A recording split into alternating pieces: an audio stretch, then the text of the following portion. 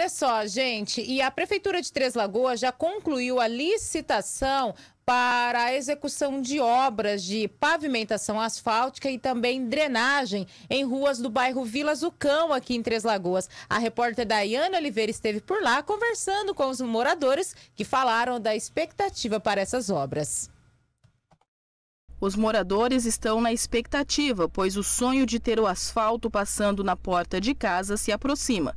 Dona Joaquina mora no bairro há mais de 20 anos e chega a se emocionar quando toca no assunto. Glória a Deus.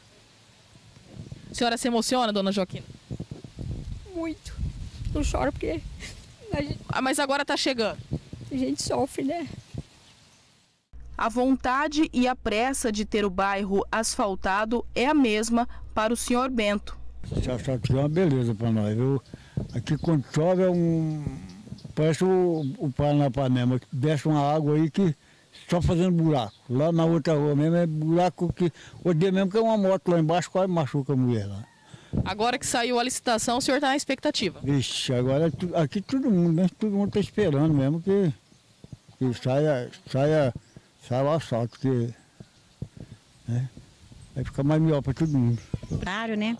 Sim, eu estou na expectativa, porque nós vem lutando sobre isso daí faz muito tempo, sobre esse asfalto nosso aqui.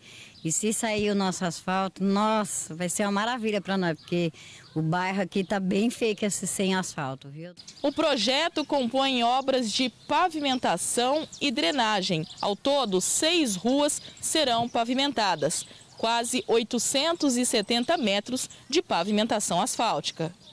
A obra a ser feita no bairro faz parte do Programa de Desenvolvimento Regional territorial urbano com fontes de recursos de convênio da Caixa Econômica Federal e também com recursos próprios do município. Além da pavimentação e drenagem, o projeto compõe acessibilidade em diversas ruas do bairro. As ruas contempladas com as obras serão Rua Justo Veríssimo, Rua Manuel Mendes, Rua Nelson da Capitinga, Rua Otávio Sigefredo Roriz, Rua Odorico Paraguaçu e Rua Rolando Lero. A Prefeitura aguarda agora a tramitação com a Caixa Econômica Federal para dar início à obra.